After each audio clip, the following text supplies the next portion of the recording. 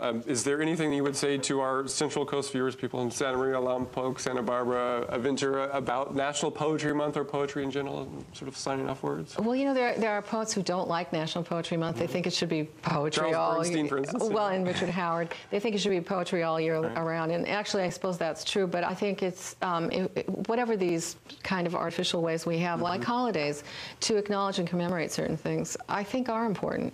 And poetry, uh, there's a main current of poetry that flows through all of our lives.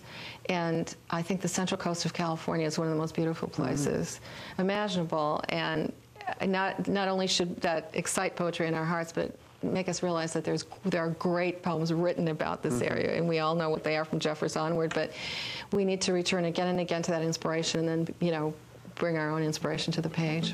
And you've brought a lot of inspiration to us. Thanks so Thank much for coming up from Los Angeles. Thank really you for appreciate it. inviting me.